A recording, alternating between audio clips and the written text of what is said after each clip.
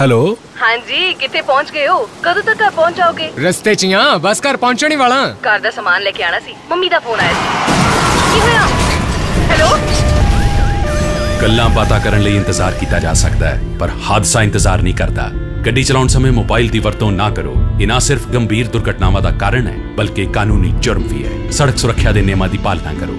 ਪੰਜਾਬ ਸੜਕ ਤੇ ਪੁਲ ਵਿਕਾਸ ਬੋਰਡ ਵੱਲੋਂ ਜਨ ਹਿੱਤ ਵਿੱਚ ਜਾਰੀ।